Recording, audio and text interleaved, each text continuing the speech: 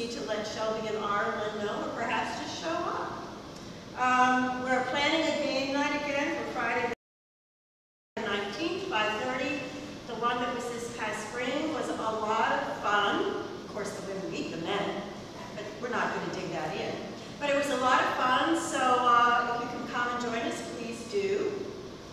Any other announcements from the congregation this morning? Well, I have just one little thing based on the, the um,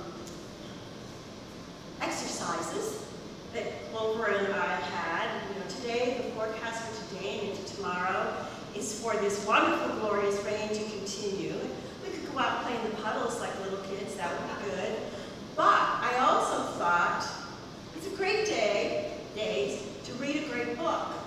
And oh look, we have a book that comes in your handy pocket version, travel version, and my favorite, as you know, student study Bible.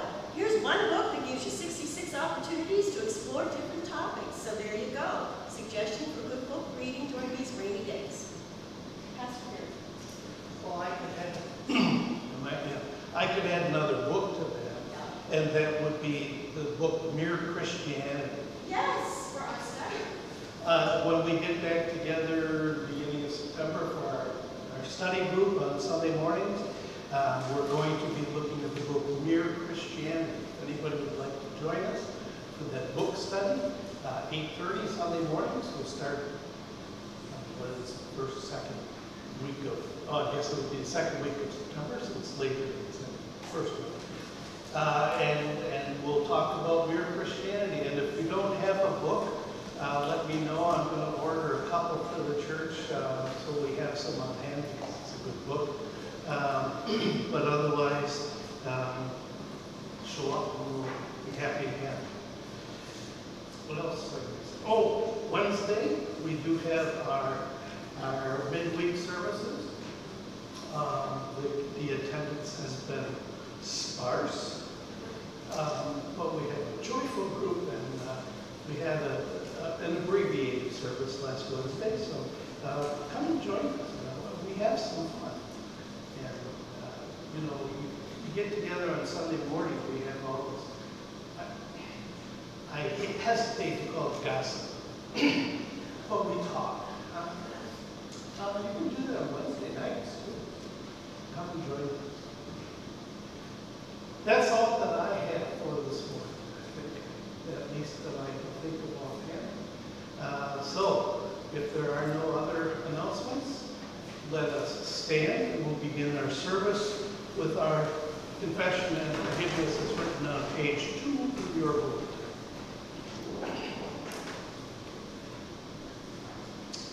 Blessed be the Holy Trinity, one God, whose steadfast love endures forever. Amen.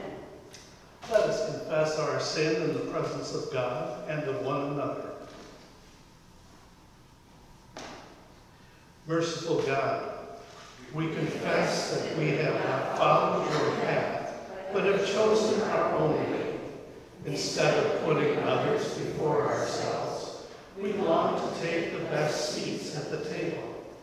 When met by those in need, we have too often passed by on the other side. Set us again on the path of life. Save us from ourselves and free us to love our neighbors.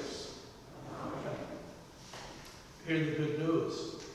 God does not deal with us according to our sins, but instead delights in granting pardon and mercy. In the name of Jesus Christ, your sins are forgiven. You are free to love as God allows. Let us sing hymn number 705, verses 1 through 3.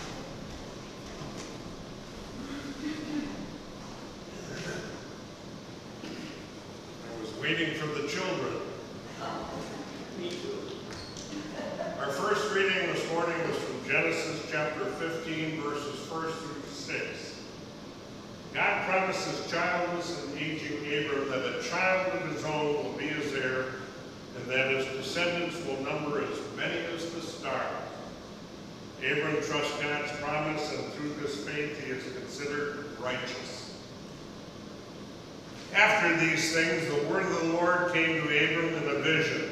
Do not be afraid, Abram. I am your shield, your reward shall be very great. But Abram said, O Lord God, what will you give me? For I continue childless, and the heir of my house is Eliezer of Damascus. And Abram said, You have given me no offspring, and so a slave born in my house is to be my heir. But the word of the Lord came to him. This man shall not be your heir, no one but your very own issue shall be your heir. He brought him outside and said, Look toward heaven and count the stars.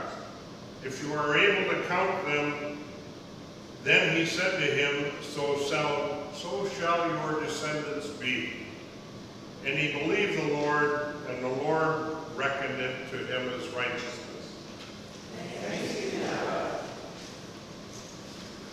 Our second reading comes from the Gospel, uh, St. Luke, chapter 12, verses 32 through 40. Jesus encourages disciples to invest their hearts and live fully into God's reign instead of facing life with fear. Those who know God's generosity are always ready to receive from God and give to others. Do not be afraid, little flock, for it is your Father's good pleasure to give you the kingdom. Sell your possessions and give alms. Make purses for yourselves that do not wear out, an unfailing treasure in heaven where no thief comes near and no moth destroys. For where your treasure is, there your heart will be also. Be dressed for action and have your lamps lit. Be like those who are waiting for their master to return from the wedding banquet, so that they may open the door for him as soon as he comes and knocks. Blessed are those slaves whom the master finds alert when he comes. Truly I tell you, he will fasten his belt and have them sit down to eat, and he will come and serve them. If he comes during the middle of the night or near dawn and finds them so blessed are those slaves. But know this, if the owner of the house had known at what hour the thief was coming, he would not have let his house be broken into. You must also be ready, for the Son of Man is coming at an unexpected hour. See.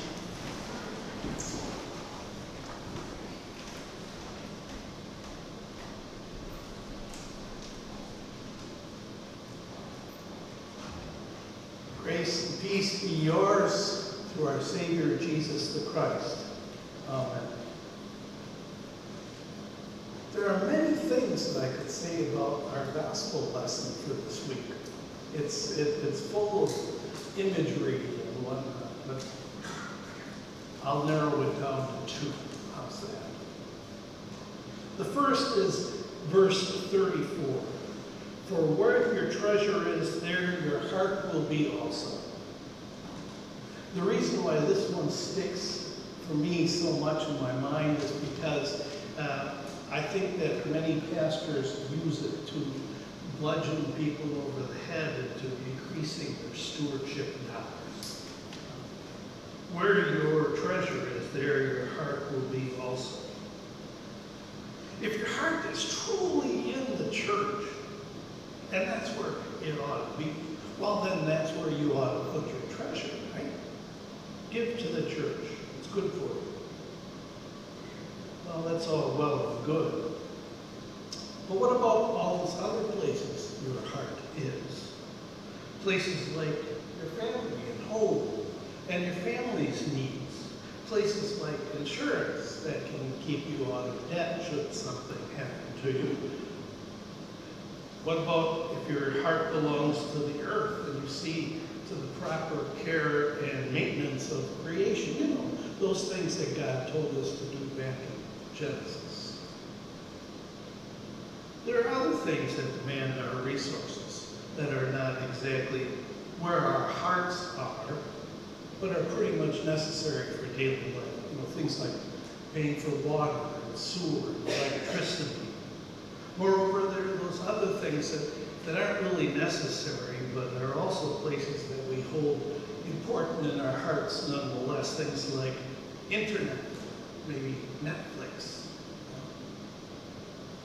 I don't need to take this too far, though. If we are serious about keeping our budgets and our lives, we know the reality of all these things that draw from us and attract us and, and require of us. Huh? And actually, this saying could be kind of turned around. Instead of saying, uh, where your treasure is, your heart will be also, you could say, where your heart is, your treasure will be also. Because actually, if, if you have, have something that you desire a lot or have a lot of love for, you tend to put a lot of time and energy and resources into that sort of thing. It's how much, it's, it's, it's funny how much we spend on things like Badgers and Packers memorabilia, things that will not affect our lives too much after we leave this planet. But those things come to mean something to us.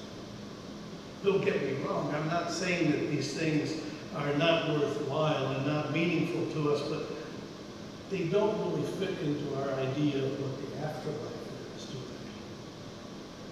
I think Jesus is just stating the fact that holds true. Uh, where our heart finds joy and meaning holds great sway over how we divvy up the resources that we have to use and work with. It just makes sense, doesn't it? We aren't going to give away our resources to something that we don't believe in or something we don't care about, will we? I don't think we ought to guilt people, though, into giving money that they do not freely give. Besides, then it's not an offering, it becomes a payment for services rendered. And I don't think that's what the church is about either. Now, don't get me wrong, I'm not saying decrease your offerings. Please don't do that.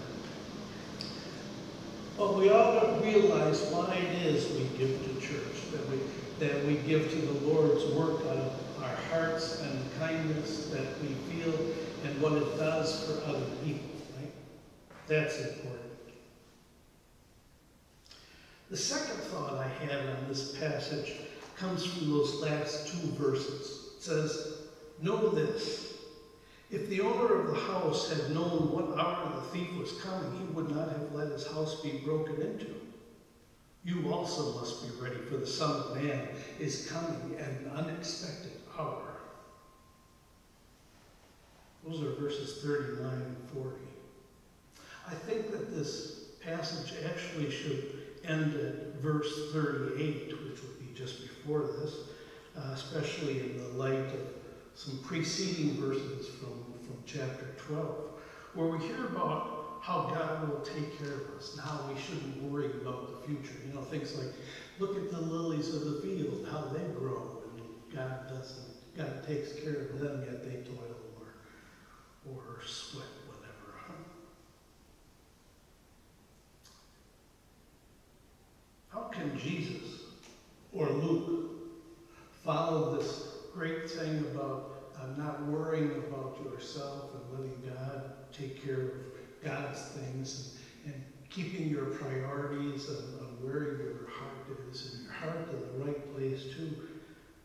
But then follow it up with, but know this, if the owner of the house had known at what hour the thief was coming, he would not have let his house be broken into. You also must be ready, for the Son of Man is coming at an unexpected hour.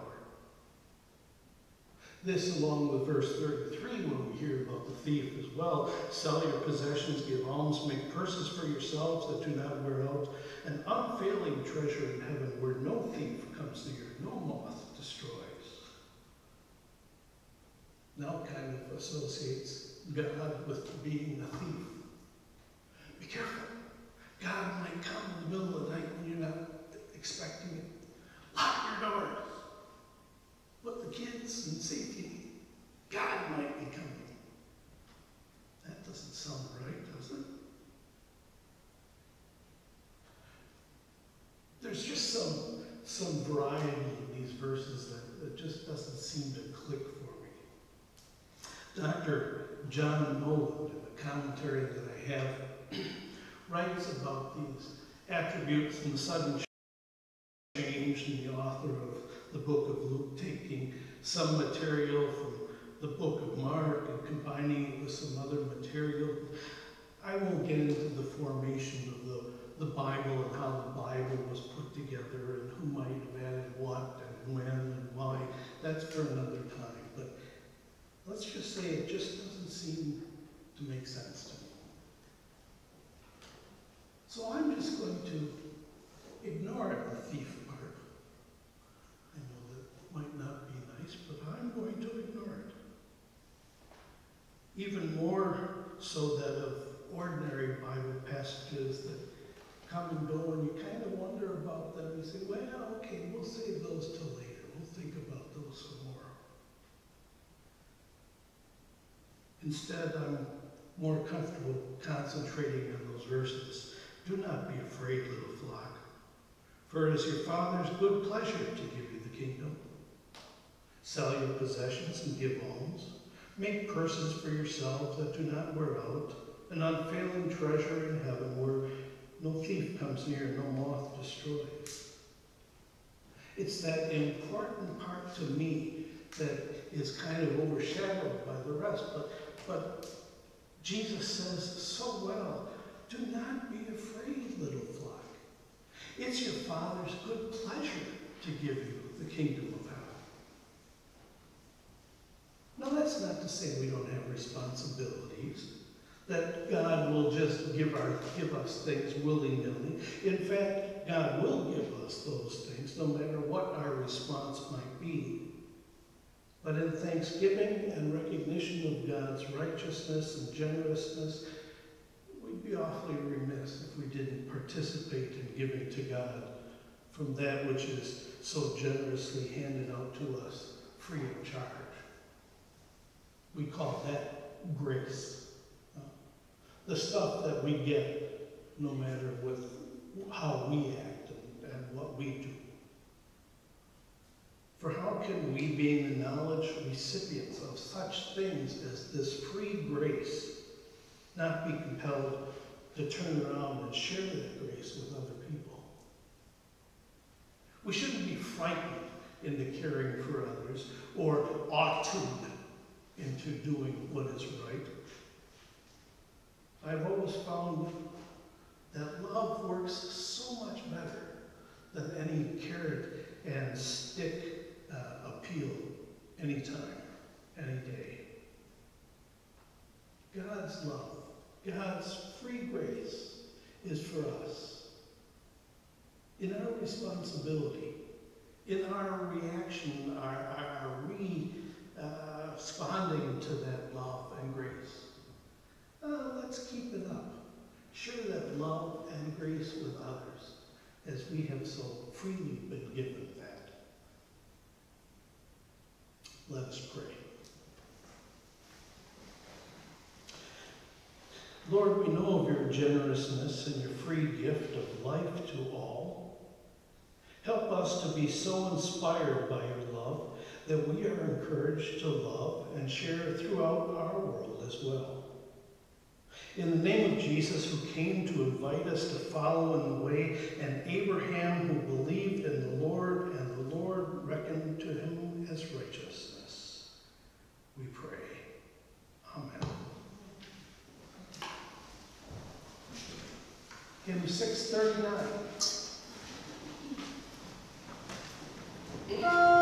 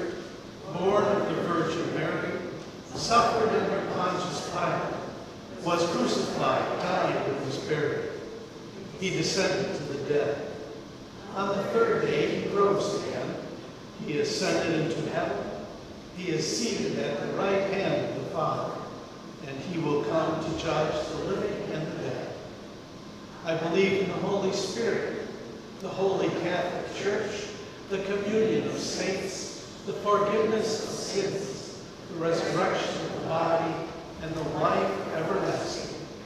Amen.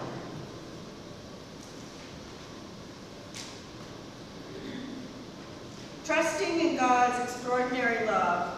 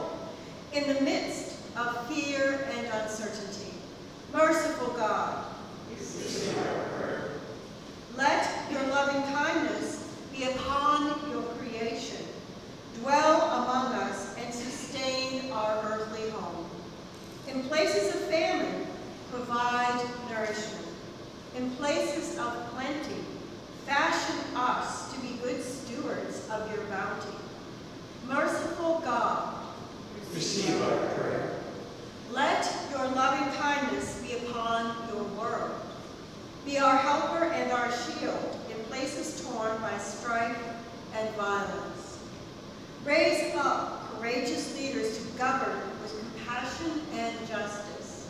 Merciful God, Receive our prayer.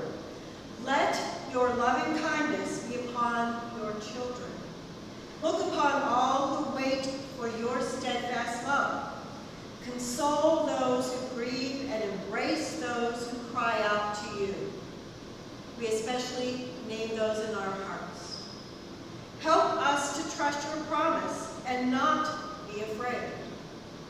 Merciful God, Receive our prayer. let your loving kindness be upon the community. Fashion our hearts to strive for the way of peace. Strengthen the outreach ministries of this congregation and all who care for those in need. Merciful God, Receive our prayer.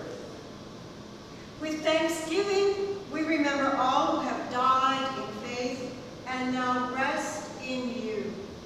As they placed their hope in you, so strengthen us to trust in your promise of new life. Merciful God, Receive our prayer. Receive the prayers of your children, merciful God, and hold us forever in your steadfast love. Through Jesus Christ, our holy wisdom. Once again, there are offering plates in the back if you wish to help us with a donation, but let us sing our offertory.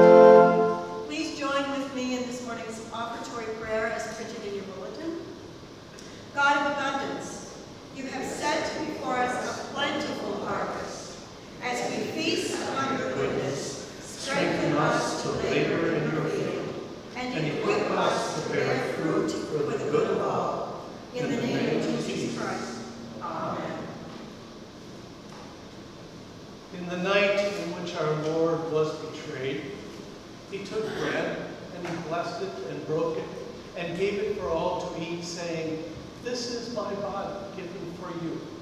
Do this for the remembrance of me. And then after the supper, he took the cup and he gave thanks. And he gave it for all to drink, saying, This cup is the new covenant in my blood, shed for you and for all people for the forgiveness of sin. Do this the remembrance. Now remembering the prayer our Lord taught us to pray, let us call God our Father. Our Father, who art in heaven, hallowed be thy name. Thy kingdom come, thy will be done, on earth as it is in heaven.